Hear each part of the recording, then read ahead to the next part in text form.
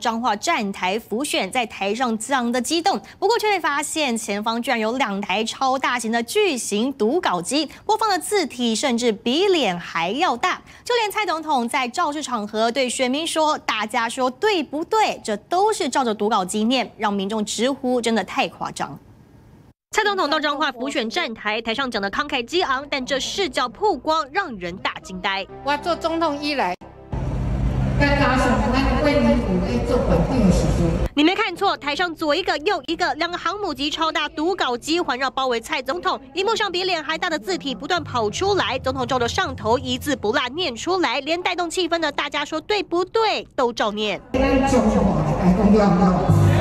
这幕让民众傻眼，狂问总统怎么会这么夸张？蛮离谱的，这个这个应该像竞选海报了吧？肚子有货的话，讲得出东西出来的人就是有料，就是有能力，还需要看吗？对比过去，小英刚当上总统用小台读稿机，现在却是超大荧幕。网友嘲讽总统当越久，读稿机越换越大台。蔡英文连说话能力都没有，讲完知道自己说了什么吗？专家说，各国领袖只有在重大场合才看读稿机，像蔡总统每场必看读稿机，全球少见。但也有人说，别太苛求蔡总统。我对他看读稿机，我真的还不会太苛求他。因为一个人有一个人的本事嘛，他的本事就是选举能骗到选票。当上总统的狂看稿，想选总统的直播拼命告。柯文哲专访时被要求要先念咒语才能吃饭，差点被搞疯。